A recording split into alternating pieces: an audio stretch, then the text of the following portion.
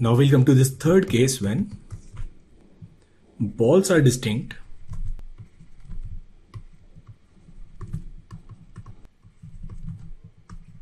but boxes are identical.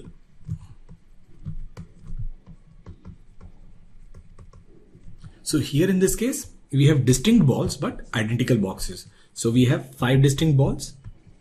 So one, two, three, four,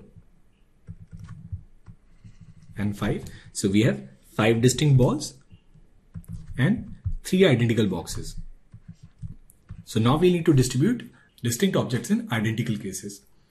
Now in this question, we already know that we can distribute five balls in three boxes so that no box is empty in either two, two or one way, or we can distribute them as three, one or one way.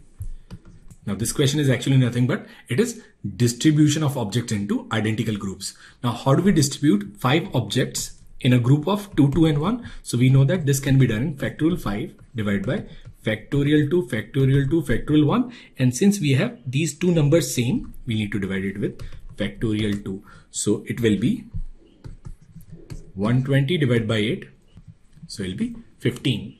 Now in the same way we need to distribute 5 objects in a group of 3, 1, 1 so it will be factorial 5 factorial 3 factorial 1 factorial 1 and since these two they are identical we again need to divide it with factorial 2 so it will be again 120 and here it is 6 into 2 so which is 10 so it'll be simply 15 plus 10 and that should be 25 so number of ways of distributing five distinct balls in three identical boxes is 25 so this problem is actually distribution problem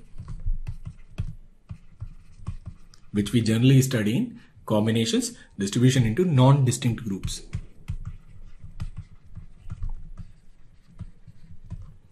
Now let us discuss more general problem in this. Suppose we have n distinct balls and r identical boxes. So in how many ways we can distribute n distinct balls in r identical boxes so that no box is empty.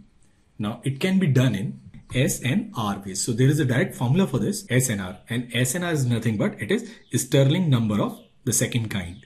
Now how do we find S and R? So there is a formula for S and R. S and R is given by 1 upon factorial R and then LB RC0 R to the power n minus RC1 R minus 1 to the power n plus RC2 R minus 2 to the power n and will continue till the end where it will be minus 1 to the power R minus 1 1 to the power n. So using this formula we can find out this Stirling number SNR and this SNR is equal to number of ways in which we can distribute n distinct balls in R identical boxes. So we'll use this formula for our question. Now in this value of n is 5 and value of r is 3. So we need to find s